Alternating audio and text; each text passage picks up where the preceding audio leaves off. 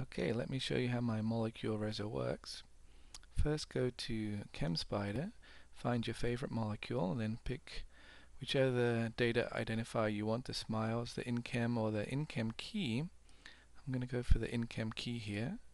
Copy that, go back to Second Life, uh, start up ORAC, then you can input your InChI key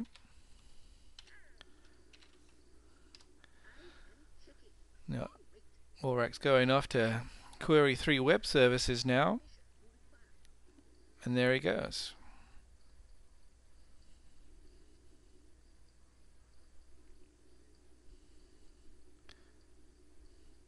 Calculating the positions of the atoms and then now drawing the hydrogen atoms.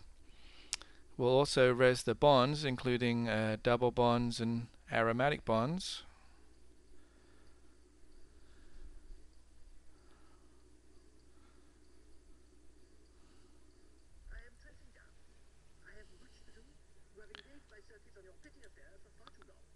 And there's the minimized 3D structure.